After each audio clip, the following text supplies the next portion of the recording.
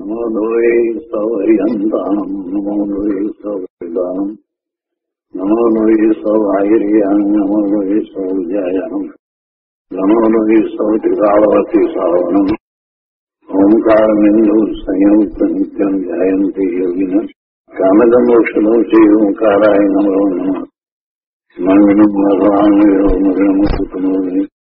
మంగళం కుంకుందారి జైంద్రమోసు మంగళం నమా స్మరిస్తాను સ્વાનુભૂત્યા ચકાસ્તે ચિત્તવાય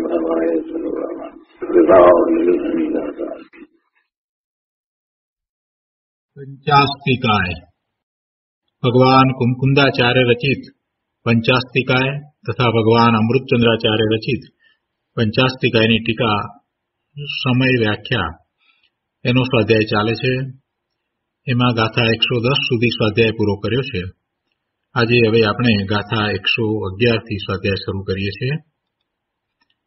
કુંદાચાર્ય ભગવાનની ગાથા એકસો અગિયાર. તી થાવર તણુજોગા અણિલ અણલકાઈયાય તે શૂતસા. મણ પરિણામ વિરહિદા જીવા એ ઇન્દિયા સંસ્કૃતમાં ગાથા છે. ત્રય સ્થાવર તનુયોગા અનિલ અનલકાયી કાશ્ય તે શૂતસા મનઃ પરિણામ વિરહિતા જીવા એકેન્દ્રિયા જ્ઞેયા ગુજરાતીમાં ગાથા છે, ત્યાં જીવ ત્રણ સ્થાવર તનુ ત્રસ જીવ અગ્નિ સમીરના, એ સર્વ મન પરિણામ વિરહિત એક ઇન્દ્રિય જાણવા. એકસો અગિયારમી ગાથાના અન્વયાર્થમાં કહે છે કે તેસુ ત્રયો, તેમાં ત્રણ. ત્રણ એટલે પૃથ્વી કાયિક અપકાયિક અને વનસ્પતિ કાયિક જીવો. પૃથ્વી કાયિક અપકાયિક અને વનસ્પતિ કાયિક જીવો. સ્થાવર તનુ યોગા સ્થાવર શરીરના સંયોગવાળા છે. ચ અનિલ અનલ કાયિકા ત્રસા. તથા વાયુકાયિક અને અગ્નિકાયિક જીવો ત્રસ છે. મન પરિણામ વિરહિતા એકેન્દ્રિયા, જીવાગ્નેયા. તે બધા મન પરિણામ રહિત એકેન્દ્રિય જીવો જાણવા. શું કહ્યું? કે અગાઉ એકસો દસ ગાથામાં જે વાત કરી, તો એમાં પાંચ સ્થાવરની વાત કરી, તો એમાં કહે છે કે પૃથ્વી કાયિક અપકાયિક અને વનસ્પતિ કાયિક જીવો સ્થાવર શરીરના સંયોગવાળા છે. તથા વાયુકાયિક અને અગ્નિકાયિક જીવો ત્રસ્ત છે. તે બધા મન પરિણામ રહિત એકેન્દ્રિય જીવો જાણવા. જો ત્રસ્ત છે એટલે બે ઇન્દ્રિયવાળા છે એવો અર્થ નથી. પણ શરીરની અપેક્ષાથી વાત લીધી છે કે સ્થાવર શરીરના સંયોગવાળા છે તથા આ બીજા બે છે, વાયુકાયિક, અગ્નિકાયિક જીવો, એ ત્રસ છે. એટલે કે એની કોઈક રીતે ગતિ થાય છે ને એ અપેક્ષાથી વાત લેવામાં આવી છે. ફૂટનોટમાં એની સ્પષ્ટતા કરી છે કે વાયુકાયિક અને અગ્નિકાયિક જીવોને ચલન ક્રિયા દેખીને વ્યવહારથી ત્રસ કહેવામાં આવે છે. નિશ્ચયથી તો તેઓ પણ સ્થાવર નામ કર્મ આધીનપણાને લીધે સ્થાવર નામ કર્મ ને લીધે આને પણ સ્થાવર નામ કર્મ જ છે. બીજા જે ત્રણ લીધા પૃથ્વીકાય, અપકાય અને વનસ્પતિકાય. તો એ ત્રણ ને જેમ સ્થાવર શરીર સંયોગ છે અને સ્થાવર નામ કર્મ છે, તો એવી રીતે આને પણ સ્થાવર નામ કર્મ છે. પણ ફેર કેટલો છે કે આને ચલન ક્રિયા દેખાય છે? વાયુકાય અને અગ્નિકાય જીવોને ચલન ક્રિયા દેખીતી દેખાય છે એટલે કહે છે કે વ્યવહારથી એ અપેક્ષાએ ત્રસ ગયા પણ નિશ્ચયથી તો તેઓ સ્થાવર નામકર્મ આધીનપણાને લીધે. જો કે તેમને વ્યવહારથી ચલન છે તો પણ સ્થાવર જ છે. એ સ્થાવર જ છે. સ્થાવર એવું નામકર્મ છે. સ્થાવર એટલે સ્થિર. આપણે એવો અર્થ કરીએ છીએ, પણ એમ નહીં. એ સ્થાવર નામકર્મ છે. અને સ્થાવર નામકર્મ જેને છે, એ બધા એકેન્દ્રિય છે. એ બધા જ એકેન્દ્રિય છે.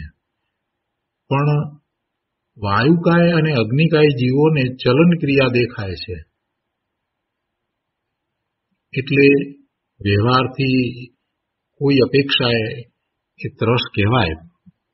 છે તો એક ઇન્દ્રિય જ એ છે તો એક ઇન્દ્રિય જ એને સ્પર્શ સિવાય બીજી કોઈ ઇન્દ્રિય હોતી નથી.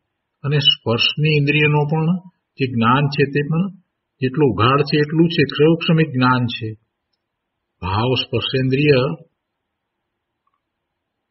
જેટલું જ્ઞાન છે, એટલો જ્ઞાનનો ઉઘાડ છે.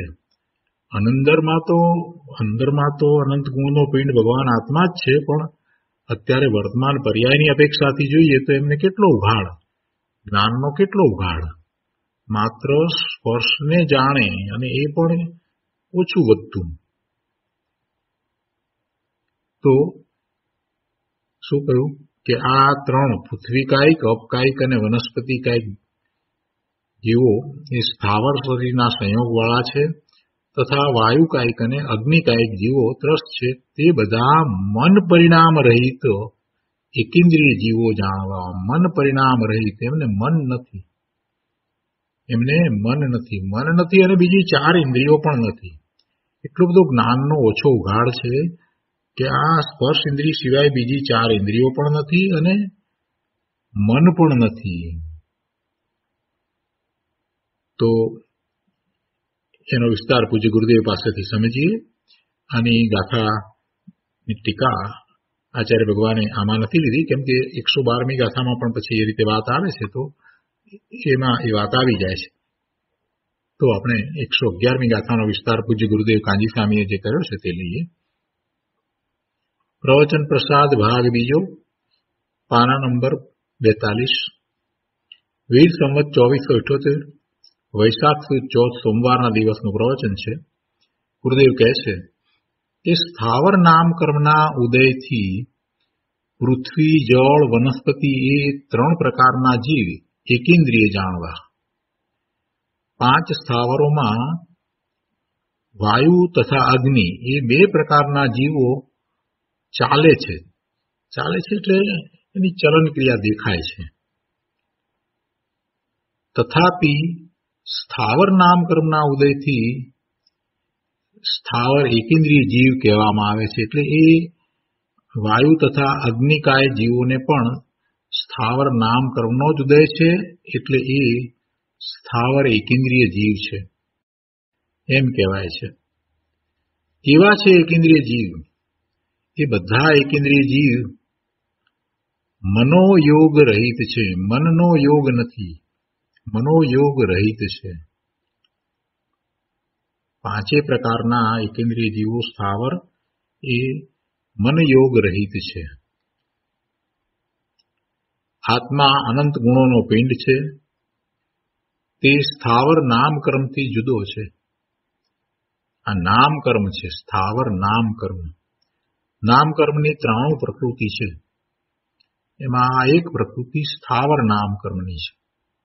તો સ્થાવર નામ કર્મ અને આત્મા એ તો બે જુદા છે. આત્માને કોઈ કર્મ છે જ નહીં. એટલે આત્મા તો એનાથી ત્રિકાળ જુદો છે. ભલે ને એ એકેન્દ્રિયમાં હોય તોય શું? એકેન્દ્રિયમાં હોય, સ્થાવર નામકર્મનો ઉદય હોય, તે છતાં એ આત્મા એ નામકર્મથી જુદો છે, સ્થાવર નામકર્મથી જુદો છે. કોઈ પણ કર્મથી આત્મા તો જુદો જ છે. આત્મા, કર્મ તથા મનથી રહિત છે અને પોતાના ગુણોથી અભિન્ન છે. આત્મા પોતાના ગુણોથી અભિન્ન છે, પોતાના અનંત ગુણો સહિત જ છે. અને એ ગુણ સાથે એ અભિન્નપણે છે, એટલે ગુણ ગુણીનો ભેદ પણ નથી. તો એવા આત્માની ભાવના જે કરતો નથી, એની શ્રદ્ધા કરતો નથી, એમાં એકાગ્રતા કરતો નથી. તે કર્મો બાંધે છે અને તેથી એકેન્દ્રીયપણાને પ્રાપ્ત થાય છે. આવું સ્થાવર નામ કર્મ બાંધ્યું હોય, એટલે પછી એકેન્દ્રીયપણું જ આવે ને. હીણી દશા. પોતાના જ્ઞાનની એવી હીણી દશા, પોતાની એવી હીણી દશા. જ્ઞાન સ્વભાવી ભગવાન આત્માની જ્ઞાનનો અત્યંત અત્યંત અત્યંત ઓછો ઉઘાડ. એવી હીણી દશા. એવી હીણી દશા કેમ થઈ? કર્મને કારણે થઈ? ના એને પોતે કરી એટલે થઈ. કોઈ કર્મ એવી એને હીણી દશા કરાવતું નથી. એની હીણી દશા છે, ત્યારે જે કર્મનો ઉદય છે, એને સ્થાવર નામ કર્મ કહેવામાં આવે છે. એકેન્દ્રિયપણું છે, તો એવું શરીર છે. પણ એકેન્દ્રિય એ શું સૂચવે છે? એકેન્દ્રિયપણું એ સૂચવે છે કે એની જ્ઞાનની અતિ હીણી દશા છે. જ્ઞાનની જો ઉત્કૃષ્ટ દશા હોય, તો પછી સામે એવા જ ઉપકરણો મળે. ઉપકરણ એટલે આ ઇન્દ્રિયો. ઇન્દ્રિય અને મન. જેને જ્ઞાનનો પૂર્ણ ઉઘાડ છે, એને પાંચે ઇન્દ્રિયો બરાબર મળે, મન પણ બરાબર મળે. પણ જેને ઉઘાડ ઓછો છે, તો જેટલો ઉઘાડ છે, એ પ્રમાણે શરીર મળે છે કે જેમાં એટલી ઇન્દ્રિય હોય. એટલે એકેન્દ્રિયપણું શું દર્શાવે છે? જ્ઞાનની અતિ હીણી દશા દર્શાવે છે. ગુરુદેવ કહે છે કે એ દશા એ જીવની છે ને જીવે પોતે કરેલી દશા છે. કેમ કે એણે ક્યારેય પોતાના જ્ઞાન સ્વરૂપ ભગવાન આત્માની શ્રદ્ધા અને જ્ઞાન કર્યા જ નહીં, એની ભાવના ભાવી નહીં. પોતે પોતાના અનંત ગુણો સહિત છે એવા ભગવાન આત્માની ભાવના જે કરતો નથી, તે કર્મો બાંધે છે અને તેથી એકેન્દ્રીયપણાને પ્રાપ્ત થાય છે. એકેન્દ્રીયપણું એ તો એની જીવની દશા છે અને પછી એવું છે તો શરીર એવું એકેન્દ્રી વાળું છે. રાગની ભાવના કરતા સ્થાવર નામ કર્મ ઉપાર્જન કરે છે. આગળ કહે છે, વર્તમાન જે જે અવસ્થા દેખાય છે તે કર્મના નિમિત્તે થાય છે. તે કર્મ પોતાની ભૂલના કારણે બંધાયેલ છે. એટલે જીવને જે ભાવ કર્મ છે, તો એવા ભાવ કર્મ છે, એટલે એવી એની દશા છે અને સામે પછી એવા જળ કર્મો છે, એટલે એવું શરીર હોય છે, સ્થાવર નામ કર્મ, એવો ઉદય કર્મનો હોય છે. પણ એ બધું પોતાની ભૂલના કારણે છે. કોઈ જીવ પાણીના જીવ રૂપે થયો, આમ કેમ? પૂર્વે એવા ભાવ કરેલ છે. તેથી અપકાયની વાત કરીને એટલે તો એ પાણી જેવું શરીર છે, એટલે પાણીના જીવ રૂપે થયો. તો એમ કેમ? અથવા તો પૃથ્વીના જીવ રૂપે થયો. તો એમ કેમ? કેમ કે એને પૂર્વે એવા ભાવ કરેલ છે તેથી. કોઈ એમ કે આને શરીર નિરોગી છે. એમ કેમ અને કોઈને શરીર રોગી છે. તો નિરોગ શરીરની અવસ્થા છે, તે કર્મના નિમિત્તે થયેલ છે. પૂર્વે પોતાના સ્વભાવને ચૂકીને શુભ ભાવ કરેલ, તેના ફળમાં તે કર્મ બંધાયેલ અને તેના નિમિત્તે એને શરીરમાં એવી અનુકૂળતાઓ વગેરે છે, એટલે નિરોગી શરીર છે, સાતા દેખાય છે. અને વર્તમાન ભૂલથી રોગ થતો નથી. ધ્યાન રાખે, બરાબર ધ્યાન રાખે, તો શરીર નિરોગી થાય. એમ નથી. શરીરનું બરાબર ધ્યાન રાખે, દર વર્ષે બરાબર ચેકઅપ કરાવતો રહે વેક્સિનેશન વગેરે બરાબર નાનપણમાં લીધા હોય. અને ખાવા પીવામાં અને બધી જ રીતે બરાબર ધ્યાન રાખે તો એ નિરોગી રહે, એમ આપણે માનીએ છીએ. પણ વાસ્તવમાં એમ નથી. વર્તમાનમાં ભૂલ કરે છે, માટે રોગી થયો છે, એમ નથી.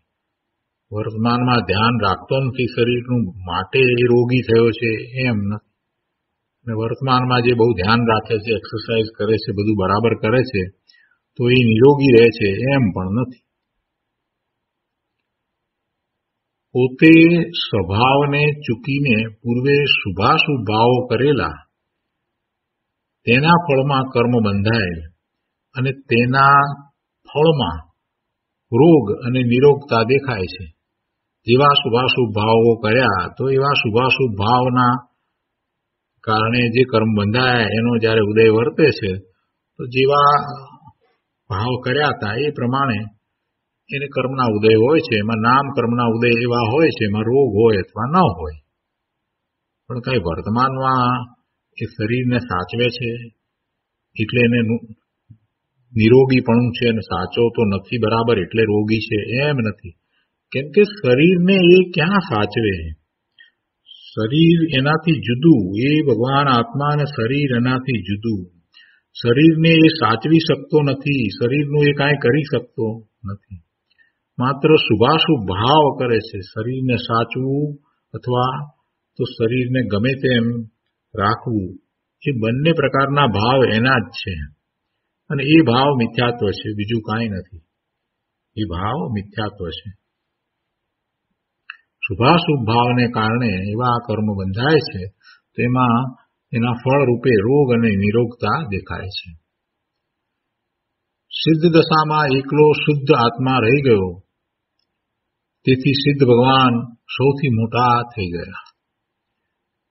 તે સિદ્ધ ભગવાનને અગ્રેસર સ્વીકારવા હોય, તો હીણી દશા અને હીણી દશા જે ભાવે મળે, તે બધાની ભાવના છોડ અને સ્વભાવની ભાવના કર, તો સિદ્ધ ભગવાનને અગ્રેસર અથવા તો પ્રભુ માન્યા કહેવાય. એ સિદ્ધ ભગવાનને માને છે, નમસ્કાર કરે છે એને એમ છે કે હું જૈન છું કેમ કે એ સિદ્ધ ભગવાનને માને છે જીનેશ્વર ભગવાનને માને છે એટલે એને એમ છે કે હું જૈન છું ગુરુદેવ કહે છે કે ભાઈ તારે ખરેખર જૈન થવું હોય એટલે કે સિદ્ધ ભગવાનને અગ્રેસર માની એમને પ્રભુ માની અને એમની આજ્ઞાને આમન્યામાં તારે રહેવું હોય. તો પહેલા તો જે તારી હીણી દશાનું કારણ છે, એનો વિચાર કર.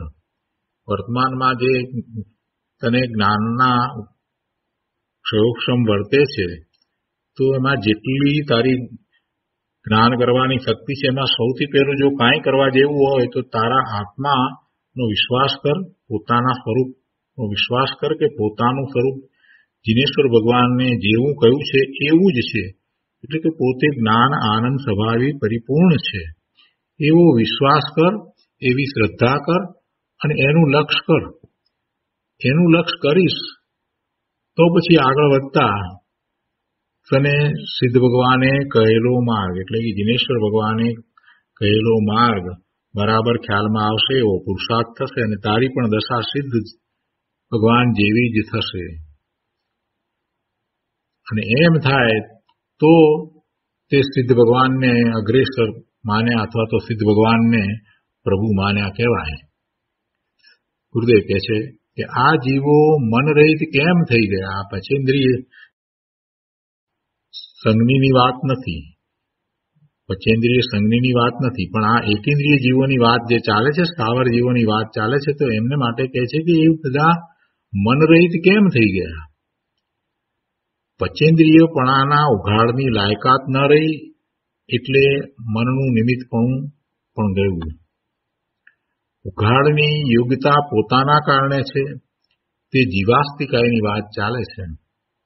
તે જીવ પોતાના સ્વભાવને ચૂકીને પોતાની હીણી દશા કરતા કરતા મન વગરનો થઈ ગયો. પોતે જ એવી દશા કરી છે. પોતે પોતાના સ્વભાવને, જ્ઞાન સ્વભાવને માન્યો નહીં સ્વીકાર્યો નહીં. અને બીજા જે માનતા હતા એમનો પણ અનાદર કર્યો ખૂબ ખૂબ તીવ્રપણે પોતાના જ્ઞાન સ્વભાવનો જેટલો બની શકે એટલો અનાદર કર્યો. એટલે હવે જ્ઞાનનો ઉઘાડ અત્યંત ઓછો એને પ્રાપ્ત થયો, એટલે એકેન્દ્રિયપણું થયું. ચાર ઇન્દ્રિયો દ્વારા જે જ્ઞાન થાય એ પણ એને થતું નથી. તો પછી મનની તો વાત જ ક્યાં રહી? એટલે એમ એ મન વગરનો થઈ ગયો. આગળ કહે છે કે આમ એકેન્દ્રિયપણામાં પૃથ્વીમાં ઉપરા ઉપરી જન્મ લે, તો સિત્તેર કરોડાકોડી સાગરોપમ સુધી રહે બાદર, નિગોદ, અગ્નિ વગેરેમાં ઉપરા ઉપરી સિત્તેર કરોડાકોડી સાગરોપમ સુધી રહે. તેથી વધારે વખત ન રહે. પોતાનો તીવ્ર વિરોધ ભાવ ચાલુ રાખે. અને એકેન્દ્રિયપણાની યોગ્યતા રાખે, તો એકેન્દ્રિયપણામાં જન્મ મરણ કર્યા કરે છે. વાયુનો જીવ પૃથ્વી થાય, એટલે કે સ્થાવરપણું તો રહે પેલા વાયુ કાય હતો અને પછી પૃથ્વી કાય થયો, કે પછી અપકાય થયો, એટલે છેવટે રહેતો એ જ. ગુરુદેવ કહે છે કે એકેન્દ્રિયપણામાં જન્મ મરણ કર્યા કરે છે. વાયુનો જીવ પૃથ્વી થાય ઇત્યાદિ એમ એક પ્રકારના એકેન્દ્રિયમાંથી બીજી પ્રકારના એકેન્દ્રિયના ભવો કરતા કરતા અસંખ્ય પૂતગલ પરાવર્તન સુધી ત્યાં જન્મ મરણ કરે છે. આ એકેન્દ્રિયમાંથી બહાર નીકળવું ભાઈ બહુ અઘરું, અતિ કઠિન છે. શું કે છે?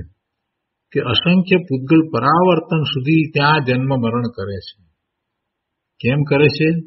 તો કે પોતાનો તીવ્ર વિરોધ ભાવ ચાલુ રાખે છે.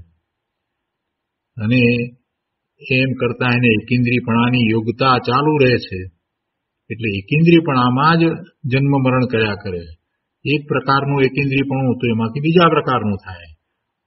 વનસ્પતિમાં હોય તો વનસ્પતિમાં અને વનસ્પતિમાં જુદી જુદી વનસ્પતિમાં રહે અને પછી પાછો એમાંથી એ પૃથ્વીકાય પણ થઈ જાય. કે વાયુ કાય પણ થઈ જાય. અને એમ એ ચાલ્યા કરે. એમાંથી નીકળે કેવી રીતે બહાર એમાંથી નીકળવું બહુ અઘરું છે. અસંખ્ય પૂતગલ પરાવર્તન કાળ સુધી એકિન્દ્રીમાં જન્મ મરણ કયા જ કરે છે. માટે અહીં કહે છે કે જ્ઞાનની હીણી દશાની રાગની અને નિમિત્તની ભાવના કરવા જેવી નથી. જેના કારણે જ્ઞાનની આવી હીણી દશા થાય છે. એવા રાગ અને નિમિત્તની ભાવના કરવા જેવી નથી.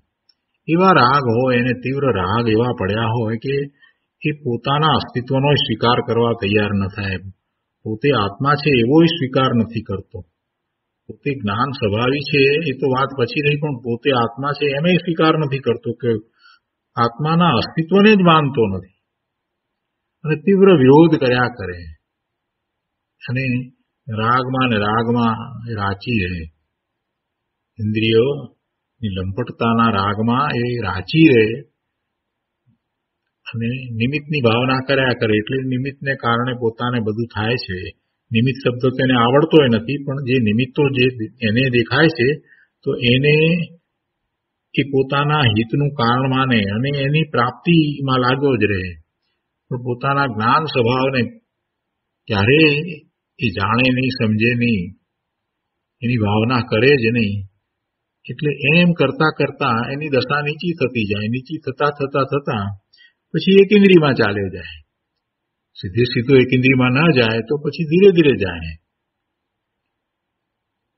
ગુરુદેવ એ વાત સમજાવે છે કે જ્ઞાનની હીણી દશાની રાગની અને નિમિત્તની ભાવના કરવા જેવી નથી જેમાં આ જ્ઞાનની હીણી દશા થાય એવા રાગ એના નિમિત્તની ભાવના કરવા જેવી નથી કેમ કે પછી એમાંથી તો નીકળવું બહુ અઘરું છે જો તેની ભાવના કરી તો ઉપરા ઉપરી આવા એકેન્દ્રિયના ભાવ કરવા પડશે અને એમાંથી નીકળવું બહુ કઠિન. આ વાત સર્વજ્ઞ સિવાય બીજે ક્યાંય નથી.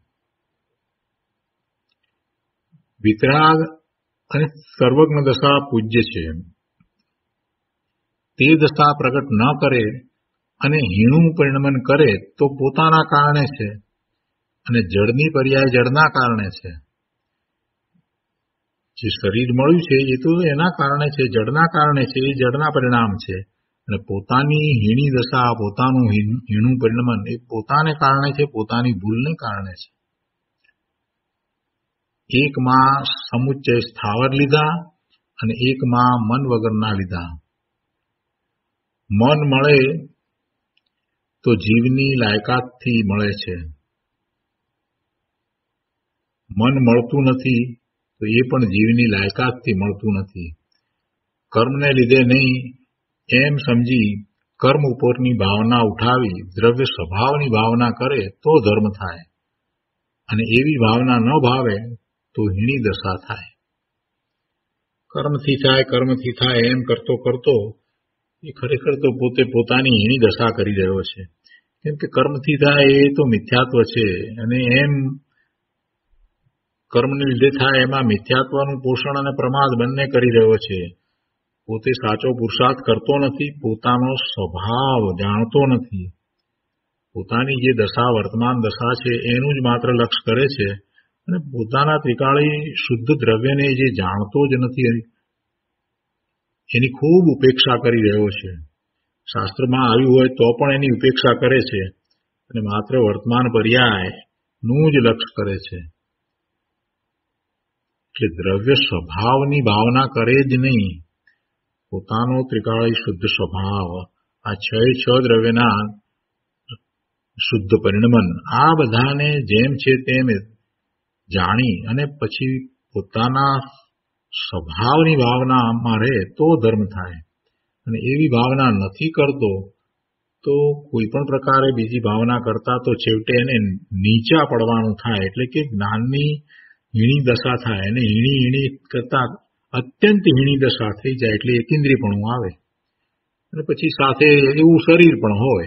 એવી દશા થઈ હોય તો પછી શરીર એવું જ પ્રાપ્ત થાય. તો આ રીતે આ એકસો અગિયારમી ગાથાનો વિસ્તાર અહીંયા પૂરો થયો. તે પછીથી કુંકુંદાચાર્ય ભગવાનની ગાથા એકસો બાર. એદે જીવણી કાયા પંચવિધા પુડ્ડવિકાઈ યાદિયા મણ પરિણામ વિરહિતા જીવા ઇગેન્દિયા ભણિયા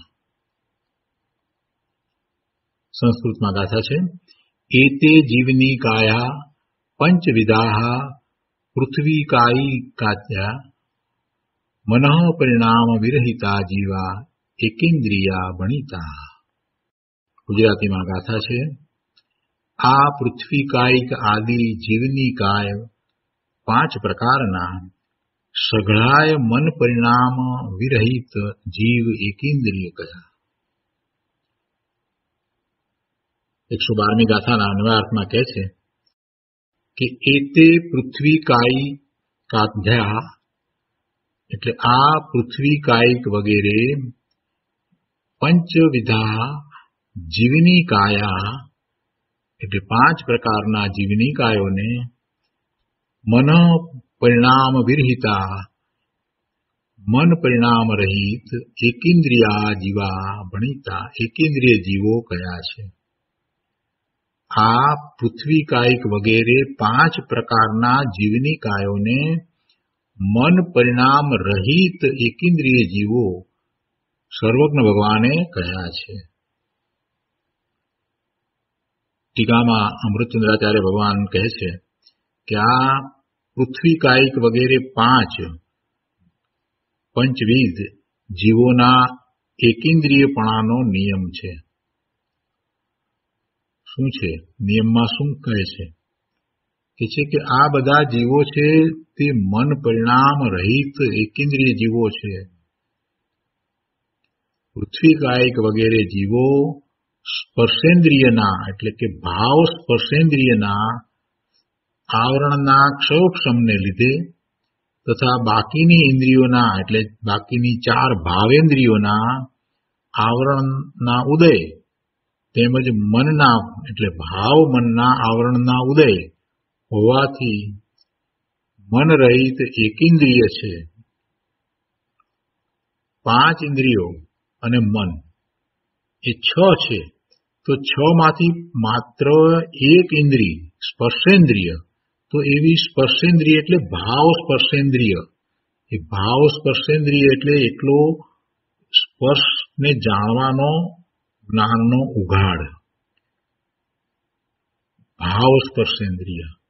અને ભાવ સ્પર્શેન્દ્રિય એટલે એ સ્પર્શને જાણવા વાળી જે ક્ષયોક્ષમિક જ્ઞાન જે પર્યાય થાય છે, એવું જ્ઞાન એ ભાવ ઇન્દ્રિય તો સ્પર્શ સંબંધીની ભાવ ઇન્દ્રિય અને એનો એને જે આવરણ છે, એમાં એક ક્ષયોક્ષમ છે, એટલે એનો થોડો ઉઘાડ છે,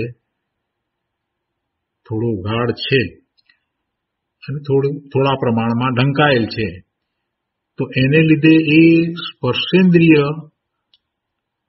એટલે સ્પર્શનું જ્ઞાન એ કરે છે. પણ બાકીની ચાર ઇન્દ્રિયો તો કહે છે કે બાકીની ચાર ઇન્દ્રિયો એટલે ભાવ ઇન્દ્રિયની વાત છે બાકીની ચાર ભાવ ઇન્દ્રિયો તો એના આવરણનો ઉદય છે એટલે એના આવરણનો ક્ષયોક્ષમ નથી એનું તો આવરણ પૂરેપૂરું છે આવરણ પૂરેપૂરું છે એટલે એ તો એની દશા છે એમાં નિમિત્ત તરીકે કર્મ છે પણ દશા એની છે બાકીની ચાર ઇન્દ્રિયોના એટલે ભાવેન્દ્રિયોના આવરણનો ઉદય છે અને બીજું, ભાવ મનના આવરણનો પણ ઉદય છે. એટલે એ બાકીની ચાર ઇન્દ્રિયો અને મન રહિત એ છે, એટલે માત્ર એક ઇન્દ્રિયપણું છે. પૃથ્વી કાયક વગેરે જીવો, આ પાંચ પ્રકારના જે જીવો લીધા, તો એમને સ્પર્શેન્દ્રિયના, ભાવ સ્પર્શેન્દ્રિયના આવરણના ક્ષયોક્ષમને લીધે તથા બાકીની ઇન્દ્રિયો, એટલે બાકીની ચાર ભાવ ઇન્દ્રિયોના આવરણનો ઉદય તેમજ મનના એટલે ભાવ મનના આવરણનો ઉદય હોવાથી એ મન રહિત અને ચાર ઇન્દ્રિયો રહિત, માત્ર એક ઇન્દ્રિય છે. એનો વિસ્તાર પૂજ્ય ગુરુદેવ પાસેથી સમજીએ. પ્રવચન પ્રસાદ ભાગ બીજો. પાના નંબર ચુમ્માલીસ. એક દિવસનું પ્રવચન છે. એટલે ગુરુદેવ કહે છે કે તે પૃથ્વી આદિ પાંચ પ્રકારના જીવો છે અને મનોયોગના વિકલ્પોથી રહિત એકેન્દ્રિય જીવો છે. મનનો યોગ નથી અને પાંચ ઇન્દ્રિયમાંથી માત્ર એક જ ઇન્દ્રિય, એક ઇન્દ્રિયનું જ્ઞાન. ગુરુદેવ કહે છે કે મન વગરના કેમ થયા? એમને મન નથી, ચાર ઇન્દ્રિયો નથી, તો ચાર ઇન્દ્રિય વગરના કેમ થયા? અને મન વગરના કેમ થયા? આત્મા ઉપાધિ રહિત છે, તેની ભાવના જે છોડે છે, તે જીવ મન વગરના થઈ જાય છે. આત્મા ઉપાધિ રહિત છે. આત્મા આધિ વ્યાધિ ઉપાધિ રહિત છે. જ્ઞાન આનંદ સ્વરૂપ છે. એવા આત્માની ભાવના જે કરતા નથી, એની ભાવના જે છોડે છે, એ જીવ મન વગરના થઈ જાય છે. એટલે કે પછી એમની એવી જ દશા થાય છે. એમને પછી જ્ઞાનનો ઓછો ઉગાડ છે ને જ્ઞાનનો ઓછો ઉગાડ છે તો પછી મન ક્યાંથી હોય? ખૂબ ઓછો ઉગાડ હોય તો પછી ઇન્દ્રિયો ઓછી થતી જાય. અને અતિ અતિ અતિ અલ્પ ઉઘાડ હોય તો પછી એક ઇન્દ્રિય જ હોય. જેને પોતાના જ્ઞાન સ્વભાવની ખૂબ વિરાધના કરી છે, અનાદર કર્યો છે. દિનેશ્વર ભગવાનની વાણીને પણ ગણકારી નથી અને એની પણ ખૂબ વિરાધના કરી છે. ભગવાને કહ્યું, તો પણ માન્યું નથી. એવા જીવોને પછી જ્ઞાનનો ઉગાડ ભવિષ્યમાં કેટલો થાય? ઓછો થાય. એટલે મન વગર ના થાય. પછી પાંચ ઇન્દ્રિયવાળા હોય કે ચાર ઇન્દ્રિયવાળા હોય, પછી ત્રણ ઇન્દ્રિયવાળા હોય. અને એમાંથી પછી આગળ ક્યાં ઊંચા આવવાના હતા? એમાં એમાં જ પછી તીવ્ર અનાદરમાં પોતાના જ્ઞાન સ્વભાવનો તીવ્ર અનાદર જ પછી વર્તે અને ત્યાં તો પછી ક્યાં એને ઉપદેશ સાંભળવા મળે અને ઉપદેશ ગ્રહણ કરે ને એ વાતે બનતી નથી. એટલે છેવટે એને નીચે જ જવાનું થાય. નીચે જતા જતા એ એકેન્દ્રિયમાં ચાલ્યા જાય. એ મન વગરના થઈ જાય. પહેલી વાત તો એ લીધી છે. અને પછી તો ઇન્દ્રિયો પણ ઓછી થતી જાય. આત્મા ઉપાધિ રહિત છે, તેની ભાવના જે છોડે છે, તે જીવ મન વગરના થઈ જાય છે. આત્માના શુદ્ધ પરિણામ રહિત અને અશુદ્ધ પરિણામ સહિતના જીવો એકેન્દ્રિયપણું પામે છે. શુદ્ધ પરિણામ, આત્માના શુદ્ધ પરિણામ, એનો તો એને વિકલ્પ આવતો નથી. આત્માના શુદ્ધ પરિણામ કેવા હોય? નિર્મળ પરિણામ કેવા હોય? વિતરાગી પરિણામ કેવા હોય? એ તો મોક્ષ માર્ગ રૂપે પરિણામ છે. એ તો આનંદના પરિણામ છે. સુખ શાંતિના, નિર્મળતાના સત્તાના ભવ્યતાના, પવિત્રતાના પરિણામ છે. એવા પરિણામ રહિત અને અશુદ્ધ પરિણામ સહિત રાગ, દ્વેષ, કસાયના ભાવે જ પરિણમતા હોય, તો એવા પરિણામ સહિત. અને એટલા પરિણામ તો છે, પણ સાથે શું છે? સાથે મિથ્યાત્વનો મોટો દોષ પડ્યો છે, અજ્ઞાન અને મિથ્યાત્વ. તો એને લીધે જીનેશ્વર કથિત માર્ગમાં જે વાત આવી છે, એનાથી વિરુદ્ધપણે માન્યતા કરે છે, ભગવાનની વાતને પણ ખોટી ઠેરવે છે. ભગવાનની વાતને સાચી માનતા નથી. એવા જીવો એવા જીવો પછી એકેન્દ્રીયપણું પામે છે. આત્માના શુદ્ધ પરિણામ રહિત અને અશુદ્ધ પરિણામ સહિતના જીવો એકેન્દ્રિયપણું પામે છે જ્યારે જીવ પચેન્દ્રિય મનુષ્ય હતો ત્યારે આત્માનું ભાન કરી અસંખ્ય પ્રદેશે કેવળ જ્ઞાનના દીવડા પ્રગટી ઉઠે એવી યોગ્યતા હતી મનુષ્ય યોનિમાં આવી યોગ્યતા હતી સંઘની પચેન્દ્રિય હતો તો જો એ આત્માનું ભાન કરી અને કેવળ જ્ઞાન પ્રગટ કરે, તો એ સિદ્ધદશાને પામે આવી તો એની યોગ્યતા. એવી યોગ્યતા મનુષ્યપણામાં હતી. પૂર્વે પણ એને મનુષ્યપણું પ્રાપ્ત થયું, ત્યારે પણ એવી યોગ્યતા હતી. વર્તમાનમાં મનુષ્યપણું પ્રાપ્ત થયું છે તો વર્તમાનમાં પણ એને સમ્યક દર્શન, સમ્યક જ્ઞાન, સમ્યક ચારિત્રના પરિણામ, વિતરાગી પરિણામ પ્રગટ કરવાની યોગ્યતા છે. કેવળ જ્ઞાન વર્તમાનમાં અહીં ભરત ક્ષેત્રને વિશેથી નથી થતું, પણ સમ્યક દર્શન પ્રગટ જે કરે છે, એને પછી, એના પછીનો ભાવ સમ્યક દર્શન સહિત જ્યારે એ દેહ છોડે છે, તો એના પછીનો ભાવ દેવનો થાય અને એના પછીનો ભાવ એના પછીનો ભાવ જે છે તે મનુષ્યનો થાય છે અને એમાં એને એ બધી અનુકૂળતા પ્રાપ્ત થાય છે કે જેથી એને જીનવાણી પ્રાપ્ત થાય. અને એ પાછો પોતે પોતાના ચોથા ગુણસ્થાનની દશાને આગળ વધારી અને ઉત્તમ પુરુષાર્થ દ્વારા કેવળ જ્ઞાન પ્રગટ કરી શકે છે. એટલે એક વખત તો સંઘની મનુષ્યપણું થયું છે, તો પછી એને આ પુરુષાર્થ કરવો જ રહ્યો. એવો પુરુષાર્થ એ નથી કરતો એવો પુરુષાર્થ નથી કરતો યોગ્યતા છે છતાં પણ એ એવો પુરુષાર્થ નથી કરતો. આત્માનું ભાન કરે નહીં અને આર ધ્યાન અને રૌદ્ર ધ્યાન અને વિકાર અને પુણ્યની ભાવના ભાવે, તો છેવટે શું થાય? સમ્યક્ત્વ વિના મિથ્યાત્વ સહિત ના પુણ્યને કારણે પણ કદાચ દેવલોકમાં જાય તો ત્યાંથી પણ એ પાછો પડી એને તિરેંચમાં જ જવાનો છે. અને એમ કરતા એ એકેન્દ્રીપણાને પામે છે. આગળ કહે છે કે આ શરીરની સ્થિતિ પચીસ પચાસ વર્ષની હોય છે, પણ તેટલા વખતમાં ઉપાધિનો પાર હોતો નથી. ગુરુદેવ કહે છે કે આ શરીર ફૂ થઈ જશે. આ શરીર ક્યાં રહેવાનું છે? આ શરીર તો ચાલી જશે. અને અત્યારે જેનો પરિચય વર્તે છે તેવા જીવો ક્યાંય દેખાશે નહીં. વર્તમાનમાં જે જીવોનો પરિચય ભાઈ તને વર્તે છે, એ બધા તો તને ક્યાંય દેખાશે નહીં. તું ક્યાંય ચાલ્યો જઈશ? આ શરીરે છૂટી જશે અને તું ક્યાંય ચાલ્યો જઈશ? પણ અજ્ઞાનીને તેની ખબર નથી. અજ્ઞાની એવો વિચાર પણ કરતો નથી.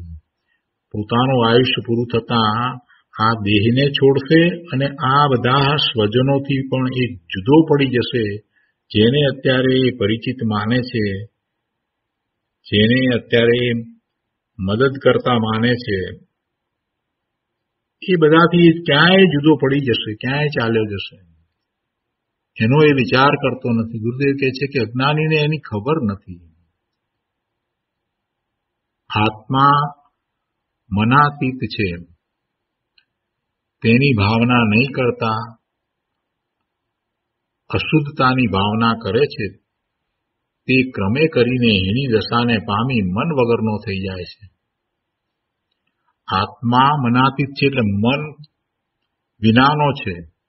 તો એવા આત્માની ભાવના નથી કરતો અને અશુદ્ધતાની ભાવના કરે છે.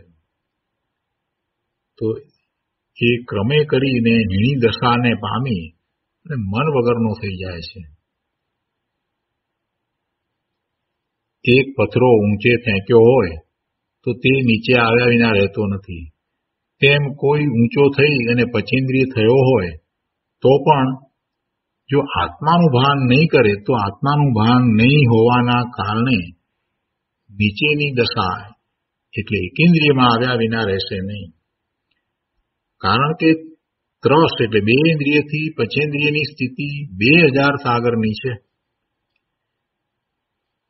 એટલે નીચે જ જવાનો છે, બે હજાર સાગરનો કાળ પૂરો થયો, પછી તો ક્યાં જવાનો? તે બે હજાર સાગરોપમની સ્થિતિ, ત્રસની છે તે પૂરી થઈ જતા એકેન્દ્રીયપણાને પ્રાપ્ત થાય છે. સ્વભાવને સંભાળ્યો નહીં, માટે હીણી દશા પામ્યો છે. પોતાનો સ્વભાવ, જ્ઞાન, આનંદનો સ્વભાવ, એને સંભાળ્યો નહીં, એને શરીરને સંભાળવામાં એ રહી ગયો.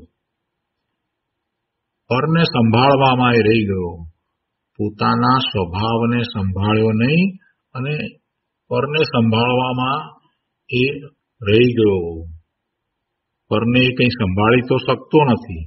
સ્વભાવને સંભાળી શકે છે તો એને તો સંભાળ્યો નહીં. સ્વભાવને સંભાળ્યો નહીં. માટે એની દશા પામ્યો છે. એકિન્દ્રિય જીવની દયા પાળવાની કે તે દયાથી ધર્મ થાય તે વાત અહીં નથી. એની વાત નથી અહીંયા. એકિન્દ્રિય જીવ છે, તો એને આપણે એકેન્દ્રિય જીવ તરીકે જ જોવા જોઈએ કે એ જીવ છે. એ આ સ્થાવર છે, એ પણ જીવ છે. એને આપણે જીવ તરીકે જોવા જોઈએ ને જેની દયા પાળવી, એટલે દયા પાળવી એટલે એવો સ્વભાવ આવવો જોઈએ. એને મારવાનો કે અથવા તો અજાણે પણ એની હિંસા થાય, તો કઈ વાંધો નહીં. એવો વિકલ્પ ન હોવો જોઈએ, એવો ભાવ ન હોવો જોઈએ. જાણતા કે અજાણતા ઇન્દ્રિયોની પણ હિંસા ન થાય. એવો જ એને ભાવ હોવો જોઈએ. એટલે એવો જ એને ભાવ છે, તો એ શુભ ભાવ છે. અને એને લીધે પુણ્યનો બંધ પડે છે. પણ એની અહીંયા વાત નથી. એકેન્દ્રિય જીવની દયા પાળવાની કે તે દયાથી ધર્મ થાય, તે વાત અહીંયા નથી. એકેન્દ્રિય પર્યાયનું જ્ઞાન કરાવી શક્તિએ તું સર્વજ્ઞ છો એમ બતાવે છે. અહીંયા તો વાત બીજી બતાવી છે કે આ જીવની વાત કરવી છે જીવાસ્તિકાયની વાત કરવી છે, તેમાં આ પ્રકારના જીવો છે. એટલે એવી એકેન્દ્રિય પર્યાય જેની હોય એવા જીવો છે. તો એવી પર્યાયનું જ્ઞાન કરાવવું છે. જીવની આવી પણ પર્યાય હોય, આવી હીણી દશા રૂપ પર્યાય પણ હોય છે, તો એનું જ્ઞાન કરાવી અને પછી દર્શાવવું એ છે કે તું સર્વજ્ઞ સ્વભાવી ભગવાન, આત્મા છો, તે છતાં પણ આવી પર્યાય પણ થાય છે. ક્યારે થાય છે? તો કે તું એવો ઊંધો પુરુષાર્થ કરે છે. તું અવળો પડે તો હીણો થાય છે. અવળો પડે એટલે કે ભગવાને જેમ કહ્યું એનાથી તું અવળો પડે. પ્રભુએ કહેલા માર્ગથી તું અવળો જાય તો હીણો થાય. અને સવળો પડે તો સર્વજ્ઞ થાય. કેમ કે શક્તિએ તો તું સર્વજ્ઞ સ્વભાવી જ છો. એટલે જીનેશ્વર ભગવાને જેમ પોતાના પુરુષાર્થ દ્વારા સર્વજ્ઞતા પ્રગટ કરી છે તો એ જ પ્રમાણે તું પુરુષાર્થ કરે, તો એ સવળો પુરુષાર્થ. તો એમ સવળો પડે તો તું પણ સર્વજ્ઞ થાય. પણ જિનેશ્વર ભગવાનની વાતથી તું અવળો પડે, તો અવળો પડે તો હીણો થાય. તો એ સમજાવવા માટે આ વાત કરી છે. તે પછીના દિવસના પ્રવચનમાં ગુરુદેવ કહે છે કે પાંચ પ્રકારના પૃથ્વીકાય આદિ સ્થાવર એકેન્દ્રિય જીવો છે. પોતાના જ્ઞાન સ્વભાવની ભાવના નહીં કરનાર હીણી દશા પામે તો એકેન્દ્રિય થાય છે. સર્વથા વિકાસનો અભાવ થઈ જાય તો જળ થઈ જાય, પણ એમ બનતું નથી. કોઈ જીવ જળ તો થઈ જતો નથી. જળપણું તો ક્યારેય નથી થતું. નિગોદના જીવને પણ અક્ષરના આનંદના ભાગે જ્ઞાનનો ઉઘાડ છે, પણ જળપણું નથી. ચેતના કાંઈ ચાલી જાય? એમ નથી હોતું. સર્વથા વિકાસનો અભાવ થઈ જાય તો જળ થઈ જાય, પણ એમ બનતું નથી. એકેન્દ્રીના જેટલો વિકાસ રહે છે, આત્મા શક્તિ એ પ્રભુ છે અને પર્યાયમાં પ્રભુ થવાની લાયકાત છે. એવું જેને ભાન નથી. અને વિભાવ જેટલો પોતાને માને છે, તે હીણી દશાને પામે છે. પોતે શક્તિએ ભગવાન આત્મા છે, પ્રભુ છે અને પોતાનામાં એવી પ્રભુતા ભરી પડી છે, એને પ્રગટ કરવાની લાયકાત પણ છે. પણ એવું જેને ભાન નથી, પોતાના સ્વભાવનું, પોતાના સ્વરૂપનું, પોતાના સામર્થ્યનું જેને ભાન નથી અને વર્તમાનમાં જે વિભાવ ભાવે રહ્યો છે, તો એવા વિભાવ જેટલો જ પોતાને માને છે, તો એમ માનતા એ છેવટે હીણી દશાને પામે છે? પૃથ્વી આદિ પાંચ પ્રકારના સ્થાવર જીવ છે. તેને સ્પર્શેન્દ્રિય વડે જાણવાનો ઉઘાડ છે. બીજી ચાર ઇન્દ્રિયોથી જાણપણું કરવાની તેમજ મનથી જાણપણું કરવાની યોગ્યતા નથી. કેમ કે તે જીવો ચાર ઇન્દ્રિયો અને મન રહિત છે. એટલે બાહ્યમાં એવી ચાર ઇન્દ્રિયો નથી, મન નથી. પણ એ નથી, એ તો શરીરને વિશે નથી, પણ એમની યોગ્યતા એવી છે એટલે એ નથી. શરીરમાં કેમ ન મળ્યા? કેમ કે એમની એવી યોગ્યતા જ નથી. એમની જ્ઞાનના ઉઘાડની એવી યોગ્યતા જ નથી. તો પછી બીજી ચાર ઇન્દ્રિયો પણ મળી નહીં ને મન પણ મળ્યું નહીં. આત્મા શુદ્ધ ચૈતન્ય સ્વરૂપ છે. આત્મા પોતાના જ્ઞાન ભાવનો સ્વતંત્રપણે કરતા છે. તેને રાગનો કરતા કહેવો તે ઉપચાર માત્ર છે. જાણનાર, દેખનાર રૂપે રહેવું તે તેનું સ્વરૂપ છે. તેવા સ્વરૂપમાં જે જીવ રહેતો નથી, તે હીણી દશાને પામે છે. આત્માના ચૈતન્ય સ્વરૂપને વિશે જેને કાંઈ શ્રદ્ધા નથી, કાંઈ પણ શ્રદ્ધા છે નહીં કે પોતે જ્ઞાન સ્વભાવી છે, પોતાનું આવું ચૈતન્ય સ્વરૂપ છે, એને કોઈ રીતે કાંઈ પણ જાણતો નથી, એવા સ્વરૂપને પછી પામે તો ક્યાંથી? એવા સ્વરૂપની એને પ્રાપ્તિ તો થાય ક્યાંથી? ચેતન સ્વરૂપ ભગવાન આત્માની અનુભૂતિ તો ક્યાંથી થાય? પોતે જાણનાર દેખનાર છે અને જાણનાર દેખનાર રૂપે રહે તો તો વિતરાગી પરમાત્મા થઈ જાય. પણ વિતરાગી પરમાત્મા થાય ક્યાંથી? હજી તો એને ભાન પણ નથી કે પોતે જ્ઞાન સ્વભાવી ચૈત્યને મહાપ્રભુ છે, એવું જ્ઞાન પણ નથી. એટલે એવા સ્વરૂપમાં રહે, જેવું સ્વરૂપ છે, એવા સ્વરૂપમાં જે જીવ રહે એ તો પૂર્ણ દશાને પ્રગટ કરે. પણ એવા સ્વરૂપમાં જે જીવ રહેતો નથી, તે હીણી દશાને પામે છે. ત્રસની સ્થિતિ બે હજાર સાગરની છે. તે દરમિયાન આત્માનું ભાન કરી મોક્ષ દશાને પામે અને એમ ન કરે તો પછી એમ ન કરે તો એકેન્દ્રિયપણાને પામે. એવો નિયમ છે. એટલે તે દરમિયાન જે આત્માનું ભાન કરતો નથી, એટલે કે બે હજાર સાગરોપમનો કાળ છે એ દરમિયાન જે આત્માનું ભાન કરતો નથી, તે એકેન્દ્રીપણાને અવશ્ય પામે છે. હવે ગુરુદેવ, એક પછી એક સાત વાત કહે છે, મહત્વની સાત વાત કહે છે. પહેલી વાત, એકેન્દ્રીયપણામાં માત્ર સ્પર્શને જાણવાનો વિકાસ રહ્યો અને સામે સ્પર્શ, રસ, ગંધ, વર્ણ, શબ્દ એમ પાંચ ઇન્દ્રિયોના વિષયોવાળા પદાર્થો છે. જેથી એકેન્દ્રિય જીવને જ્ઞેય પદાર્થોમાં જાણવું ઘણું બાકી રહી જાય છે. કેમ કે એક ઇન્દ્રિય પણ છે ને, એટલે બાકીની ચાર ઇન્દ્રિયો દ્વારા જે જણાય, એ બધા વિષયોનું જ્ઞાન એને થતું નથી. સામેના સ્કંધોમાં સ્પર્શ આદિ ગુણો અસ્તિત્વ, વસ્તુત્વ વગેરે ઘણું જાણવાનું બાકી રહે છે. એક ઇન્દ્રિયપણું છે, એટલે બીજું બધું એને જાણવાનું બાકી રહી જાય છે. પણ એ તો એ દશામાં એવું એકિન્દ્રિયપણું છે.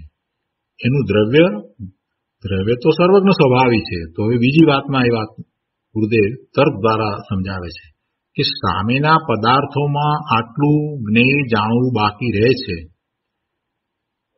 સામેના આ જે પદાર્થો છે, એ બધા જ્ઞેયો છે બીજી બધી ઇન્દ્રિયોના અને મનના વિષય થાય એવા એ જ્ઞેયો છે, તો એનું જાણવું એક ઇન્દ્રિયને બાકી રહી ગયું. પણ એનું જાણવું છે ને? એનું જ્ઞાન થઈ શકે છે ને? આ એકેન્દ્રિયને નથી થયું, પણ એનું જ્ઞાન થઈ શકે છે ને? એટલે કે સામેના પદાર્થોમાં એટલું જ્ઞેય છે અને એવું જ્ઞેય જાણવું બાકી રહે છે. તો અહીં જ્ઞાનમાં પણ જાણવાની શક્તિ હોવી જોઈએ. સામે જ્ઞેયો છે તો એનો અર્થ છે કે એ જ્ઞેયોને જાણનારું જ્ઞાન હોય જ. તો સામે જ્ઞેયો હોય અને અહીં જ્ઞાન શક્તિ ન હોય એમ બને નહીં. જ્ઞાન શક્તિ હોવી જ જોઈએ. પણ એને ઉઘાડ નથી. આ એકેન્દ્રિયમાં એને ઉઘાડ નથી. શક્તિ તો એનામાં છે. શું કે છે? કે સામે જ્ઞેયો હોય અને અહીં જ્ઞાન શક્તિ ન હોય એમ બની નહીં. માટે જ્ઞાનમાં પણ અવ્યક્ત શક્તિ એકેન્દ્રિય જીવમાં પણ પડેલી છે એમ નક્કી થાય છે. તે દ્રવ્ય ગુણમાં ભરેલી છે. શક્તિ શક્તિ રૂપે છે, વ્યક્તતા નથી. અવ્યક્ત છે. અવ્યક્ત શક્તિ એકિન્દ્રિય જીવમાં પણ પડેલી છે એમ નક્કી થાય છે. તે દ્રવ્ય ગુણમાં ભરેલી છે. એટલે કે પાંચે ઇન્દ્રિયોના વિષયો તથા આખા લોકાલોકના પદાર્થોને જાણવાની શક્તિ એકેન્દ્રિય જીવમાં અવ્યક્તપણે પડેલી છે. વર્તમાનમાં એવી દશા છે એટલે ઉઘાડ ઓછો છે, પણ શક્તિ અપેક્ષાએ તો એનો પણ એવો સર્વજ્ઞ સ્વભાવ છે. આ બીજી વાત કરી હવે ત્રીજી વાત.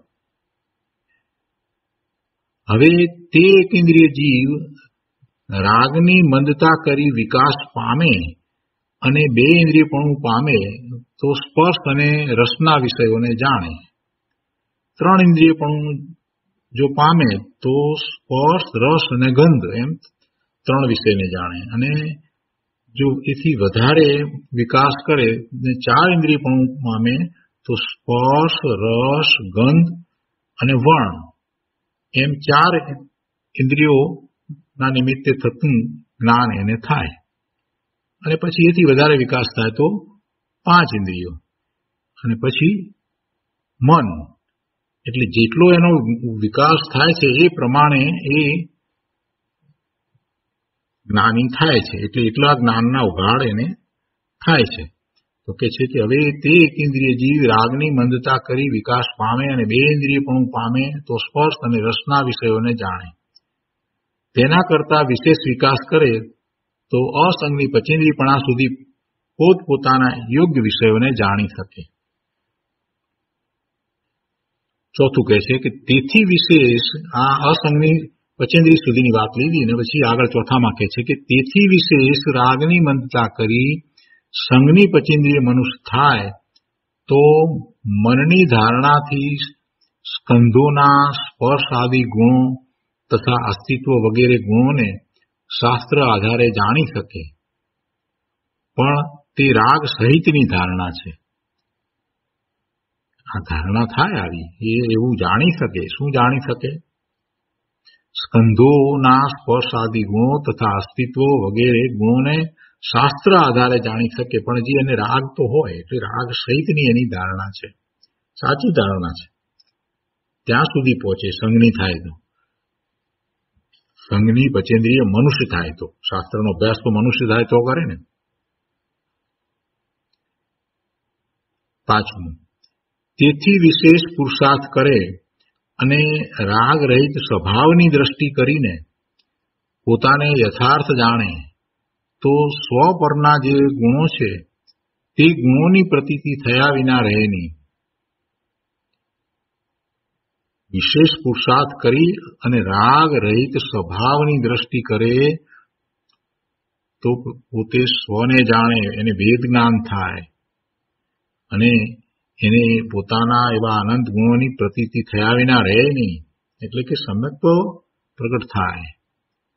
ગુણોને પ્રત્યક્ષ જાણતો નથી, પણ સ્વસંવેદન અંશે પ્રત્યક્ષ જ્ઞાન પ્રગટ થતા બધા ગુણોની પ્રતીતિ યથાર્થ થઈ જાય છે અને તેનું પરોક્ષ જ્ઞાન થાય છે, સમ્યક દર્શન થાય છે, તો જે શ્રદ્ધાન થાય છે, તો એમાં પોતાના અસ્તિત્વ નો એને પ્રતિભાસ થાય છે, એટલે આનંદનું વેદન થાય છે. અને સાથે જે જ્ઞાન થાય છે, એ જ્ઞાનને આપણે પરોક્ષ જ્ઞાન કહીએ છીએ. એટલે પોતાના અનંત ગુણોનું જે પરિણમન છે, એ પરિણમનનું એને વેદન અનુભવાય છે, એવું પ્રતિભાસપણું, એવું દર્શનપણું છે અને એને લીધે એને એવી જ પોતાની શ્રદ્ધા છે. અને સાથે આવી સહાનુભૂતિ સહિત જ્ઞાન છે. એટલે એ જ્ઞાનમાં એ જગતના બધા જીવોને, બધા પદાર્થને જેમ છે તેમ યથાર્થ જાણે છે. હવે આગળ કહે છે છઠ્ઠું કે તેથી વિશેષ પુરુષાર્થ કરે.